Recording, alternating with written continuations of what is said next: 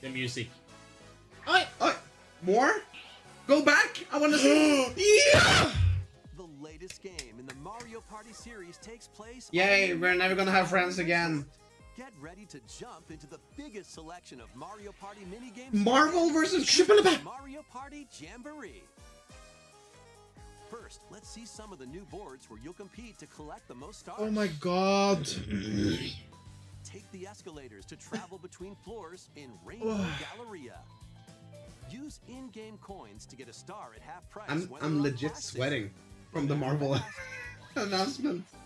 Ride around and stay on track in Roll'em Raceway. With the I can't wait to make you hate me. size, Same. You can move up to 40 spaces with a lucky roll. Oh, damn. Here on Goomba Lagoon, Oh, this is the great. flow of the tide can change your path. And things really get mixed up when the volcano blows its top. I love blowing Along the with top. five new game boards, two boards from previous Mario Party games make their return.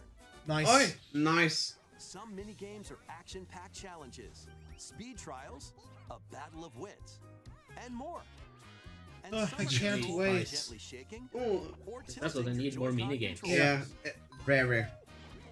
With over 110 mini games, there's a Oh, I like that both. I like the the two most furry friendly characters are ha- doing 20 the arm wrestle.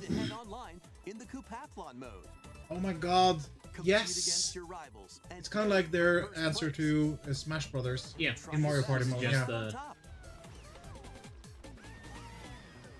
This Ugh. this direct is insane. Jesus modes? Christ. The biggest Mario Party yet will soon be underway when the Super Mario Party Jamboree Oh. Oh, nice. Nintendo eh, Switch system Nice. October 17th. I actually didn't think Nintendo would win over Xbox this year, but they already have, in my opinion. Super Mario They're not Party there yet. Jamboree. With new Capcom boards, baby, I can't. mini games, 20 player online gameplay, and more. Get ready for the biggest Mario Party in series history. Looks like they're going And into the roots. Please take a look at this. Oh my god. More? More.